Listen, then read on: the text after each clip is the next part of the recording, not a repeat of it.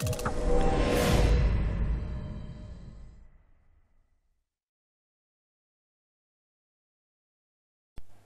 it's Patrick here from Reliable Hydroponics. Uh, we want to show you a comparison we've been doing with um, a Chinese-made LED. It runs at about 320 watts. It's equivalent to 600 watts HPS. That's what we're told.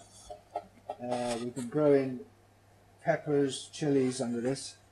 And on this side, we've got a T5 uh, that's running at about 180 odd watts.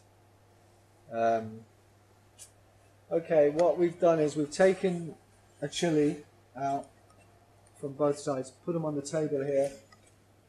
Just want to have a look at how the roots are doing. Um, roots on this. The roots on this one, LED, pretty good. Lots of roots. a Bit root bound if anything. This is the T5. Yeah, looking good. Healthy roots there, all white, nice colour. Just leaf. Um, okay, LED, lots of fruit. T5, no, no real fruit yet. Um, so this one looks a bit ugly.